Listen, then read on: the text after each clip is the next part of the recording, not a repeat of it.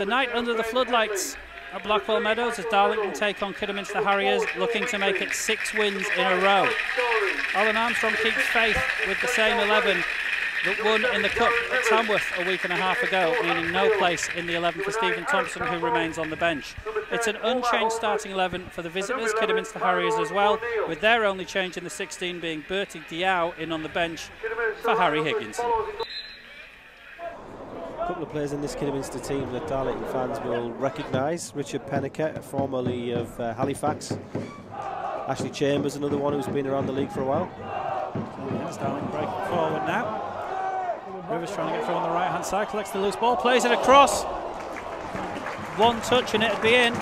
Nobody could get that. It spills across the goal for a, a goal kick in the end, but both sides in this opening two and a half minutes. Today, listening to us.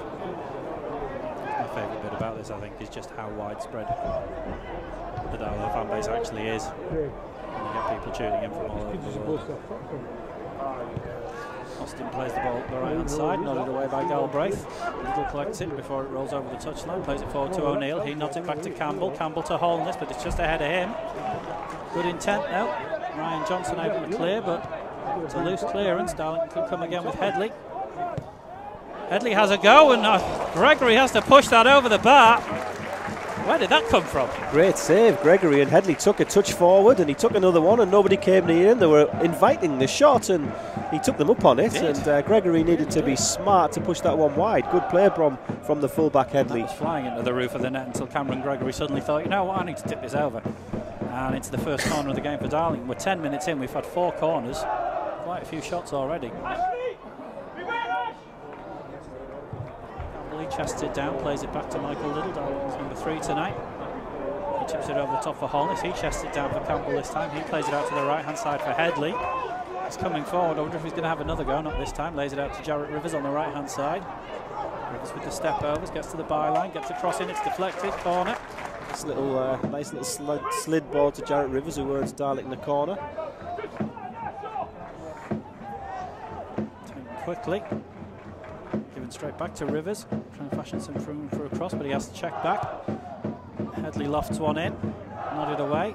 Couldn't quite be collected by Campbell at the edge of the area, but he chases back to win it back anyway. Wheatley this time gets away from Hemmings. Hemmings to Galbraith, who's just coming back towards his more natural defensive position. Campbell inside to Holness. Holness stays it off to Hatfield. Hatfield inside for O'Neill. He turns, he shoots, dribbles wide.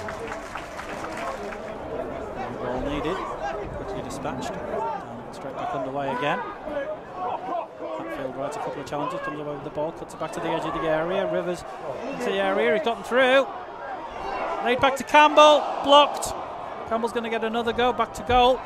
Still got it, trying to lay it back, but Kidderminster sea of bodies. His defence in numbers there, but get it away, but only as far as Liddle. Liddle to Wheatley up on the left hand side. Moyo gets a foot in, Darlington throw. That Just was for a second. Goal that was gaping. That was close, Mike. That was close. And when the ball came back to Campbell there, I fancied him, but good defender and just blocked the shot. He had to get it through a few people to get it into the back, and then that keeper had been left on the floor by the cut back, but his defenders covered for him. Ball in again. O'Neill heads it across, but there's no one there to get on the end of it, and it drops out for a goal kick. Referee gets the wall back. Darlington have sent almost everyone back. They're forward, should I say. Liddle to deliver. Can't get really past the front man though. It's going to be recycled by Wheatley who pops into the box. O'Neill heads it on, but no black and white shirt able to get close by. Kidderminster roll the ball out and give it to Hemmings. Hemmings trying on the counter attack as they've been eager to do so far tonight. Just runs through a couple of men there. He's still got the ball here, Hemmings, on that left foot. He's going to have a shot from distance, but it's well, how many how many yards wide are you giving that? Five yards? Uh, it's, it's hard enough for a tired commentator, Mike, a tired defender.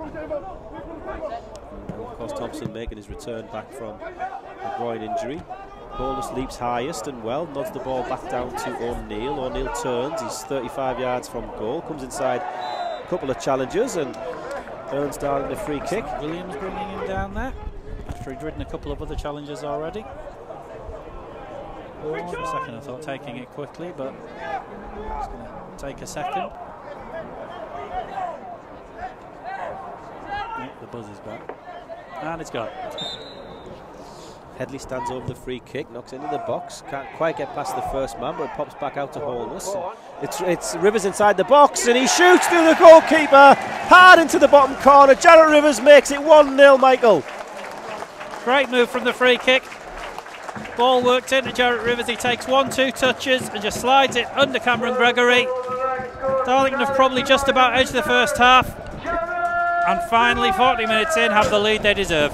We've got to uh, mention uh, Reese Williams uh, was, uh, I think everyone was waiting for a free kick perhaps to be given. As the ball went in from the first phase, I think it was O'Neill and Williams went for it together, and uh, the Kidderminster players incensed thinking that Williams got caught in the face by a high boot from O'Neill. And I must admit, I paused for a second expecting the referee to give it. Uh, Williams is down getting some treatment now from uh, from the medical team as if he's taken one in the face. Uh, but the referee saw nothing in it. Play continued. The ball bounced to Rivers and he slid it under the goalkeeper for the opening goal. Second goal of the season. Jarrett Rivers gives Darlo the lead. If anyone can confirm that would be great as we've changed Our latest match of technical now. difficulties are resolved. So I think everyone who wants to be listening to us on Darlo Fans Radio can now listen to us, I think. Collects the ball ahead of Campbell, but that's loose. And Gregory. Goal kick. Well, I tell you what, he's seized on a heavy touch He there, there, Campbell, and he's uh, he had a choice. The goalkeeper came out, and Campbell tried to get a shot away first time, but then the goalkeeper's just clattered Campbell, hasn't he? So, explain to me why that isn't an infringement. I can't. Because Gregory's, I mean, He's cleaned him out, hasn't he? Campbell's that, yeah. Campbell's honest there, honest the day as the day is long. Butterfield with it now for the visitors. Ball back to Johnson, had O'Neill chasing. It was uh, a pretty close one. Johnson gets to it, Kidderminster to keep possession. And they are, as Stu said, just enjoying a little spell here with the ball. Now you need to stay alert. Ball into Pennicott, gets the shot away.